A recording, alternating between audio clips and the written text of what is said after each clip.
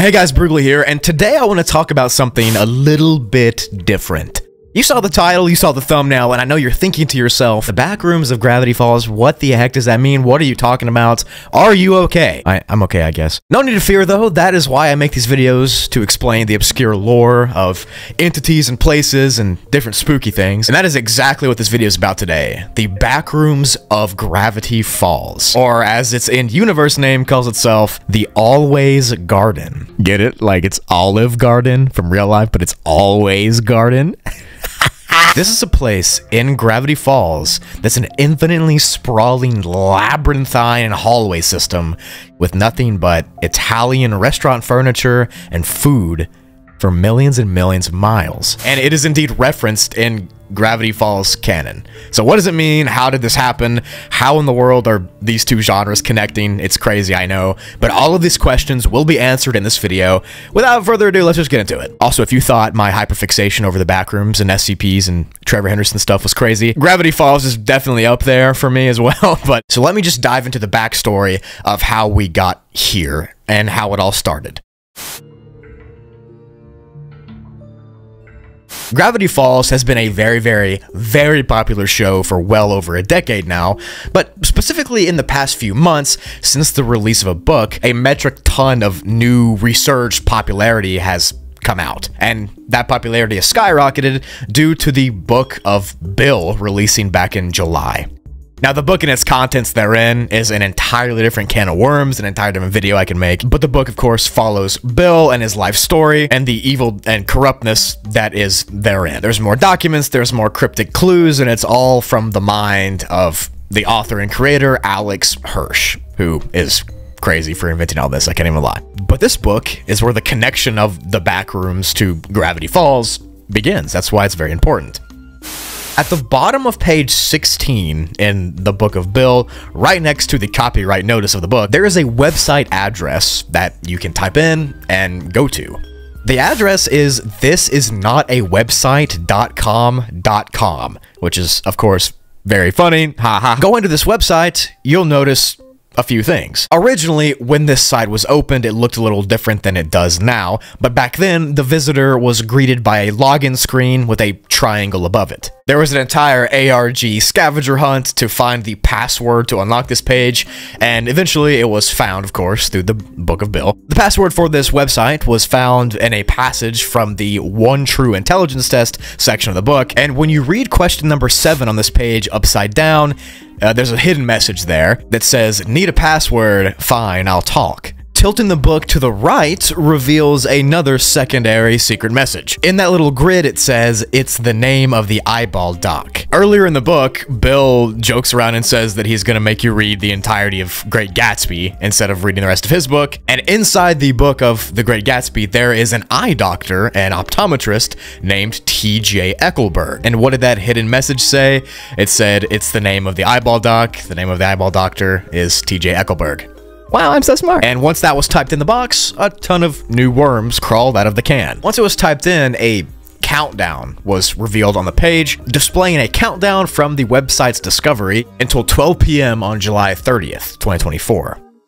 After the countdown ended, nothing happened. Like no bombs went off, nothing was nothing released, nothing happened and the page is just renamed to Time is Dead and Meaning Has No Meaning, which of course is a direct reference to the dialogue from Bill in the Weirdmageddon episode. The website then changed to an animation of Soos panicking while replacing wires on a machine. Then earlier this month on August 9th, uh, Soos finished fixing the site, which had been down for well over a week.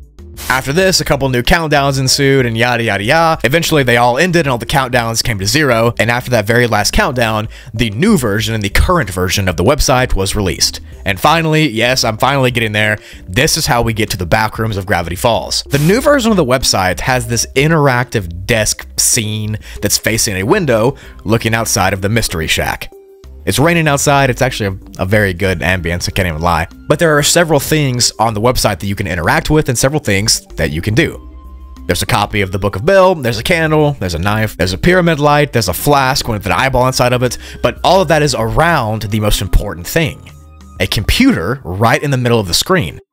This computer is interactive, and you can type things inside of it, which may or may not lead to different things. If you click on the text box under the computer and type a random word in, the likelihood is nothing's going to pop up. But if you type something like the name of a character, for example, or a phrase from the list I'll link below of different things you can type, specific instances will pop up. Like I said, I'll link the entire wiki below of different codes you can type in, but just for example, if you type in baby, then a little ultrasound of tiny little baby Bill inside the womb will pop up with text that says, Congrats, guess what's growing inside you right now? See you in nine months, Papa. If you type in clone or paper jam or paper jam dipper, then a picture of paper jam dipper will pop up on the screen. If you type in death, then the monitor will say life's goth cousin. It's all very funny, all very cutesy, but none of that matters until we get down to the keyword that this video pertains to. If you go to the website and type in the keyword horror, H O R R O R, something interesting and different than the rest of the entire list will pop up. And this keyword is not on the fandom. This is not on the list. You cannot look this up. This is a very secretive thing. If you type in horror on the computer, this strange document will pop up entitled Urban Legend number 42814, The Always Garden. At the very bottom of the document, under the text, a picture of a room that looks like the back rooms is visible with the title, The Always Garden. Hey, regret about it. You get it? This is what the text above that picture says. Now that's a spicy purgatory. Usually found in strip malls and acid flashbacks, the Always Garden looks like a medium budget Italian restaurant. But if you walk inside to grab a handful of Parmesan, you'll discover you're now forever lost in the labyrinthine digestive tract of an ancient, unknowable god. Come for the damp Caesar salad. Stay because escape is literally impossible. As the commercial says, the Always Garden. When you're here, you're here. And as you can see, that's a direct reference to the backrooms, even going as far as to say damp Caesar salad when the backroom says moist carpet. It's all very cutesy. It's literally one to one to the backrooms. Even the design of the image is inside the backrooms. The image itself is interesting as well because there seems to be tables on the ceiling, meaning that the gravity is different. There's also escalators that go up and down, which shows there's different floors. And obviously you can see the restaurant that's laid out like an Italian place. But why? Why is this reference of all things on this website? And why is it not listed on the wiki about the website? Is it just a funny little nod to the backrooms from Alex Hirsch? Does he like the backrooms and he just wants to reference it? Or could it mean more? Who knows? To be frank with you, Gravity Falls lore and stuff is very non-Euclidean, very trippy, and it's just insane in general, to the point where the backrooms doesn't even seem that crazy.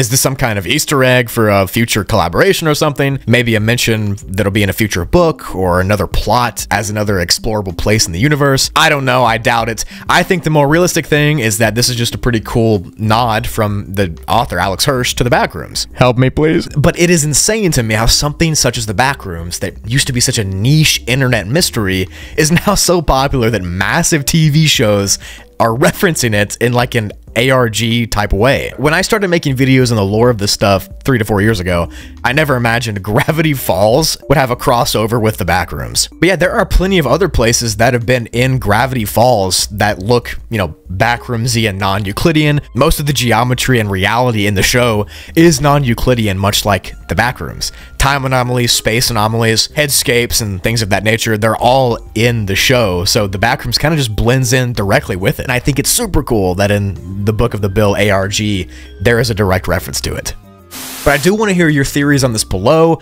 Is this just an entry to the book, like a little cheeky nod, shout out to the backrooms, or does it mean something deeper? Is there a weird connection there? Is there going to be an addition of backroom style concepts in the next issue of a book? It probably doesn't mean that, and I'm just insane. But if it does mean that, I do want to be known as the first person to propose the idea and the theory. So thank you very much. I trademarked this theory. If you want to explore the backrooms part of the Gravity Falls website yourself, the link will be below. You just type in the word horror and it'll pop up. I think it's such a cool nod to the entire concept from Alex Hirsch. I'm so glad he did it. It's such a unique thing, and it blends right in with the other liminal horror escapes that have been in Gravity Falls. Anyways, that was me yapping about the backrooms of Gravity Falls. A cool little reference on the new website. I do want to make a huge video about the entities of Gravity Falls on this channel, so if you do want that, leave a like on this. I do not expect this video to do well, to be honest, since it's so different from the usual videos, but recently I have been experimenting with Trevor Henderson creatures, SCPs, the Invincible creatures, and that that sort of thing, and it's gone pretty well, so maybe y'all would watch me cover the entities of other shows and stuff like that.